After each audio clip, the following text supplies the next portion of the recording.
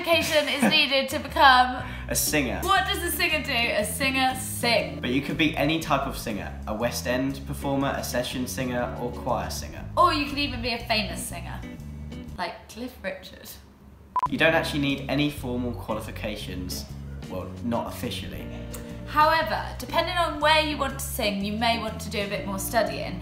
For example, if you want to be on the West End stage, a lot of those performers will have studied at a performing arts school. So it's worth looking into the type of singer you want to be and whether qualifications would actually help you in your career. So places like the Brit School, at the end of the third year, talent scouts and agents will come along to see the performance, which you then may have the chance to be picked up from there. If you don't want to spend years training or lots of money, you could just take some casual singing lessons in your spare time. I actually did that and it helps you refine your techniques and it means you'll be audition ready. I am not a good singer though. If you have the talent though, that's genuinely what matters. That's how to become a singer.